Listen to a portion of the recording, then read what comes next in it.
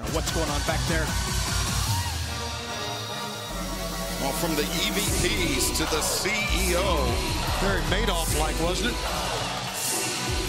Ladies and gentlemen, the TBS champion, the CEO, Mercedes Moné. She looked great or what, guys?